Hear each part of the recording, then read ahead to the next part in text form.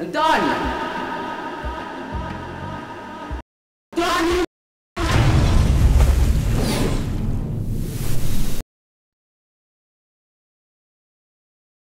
Why are you Image Plus?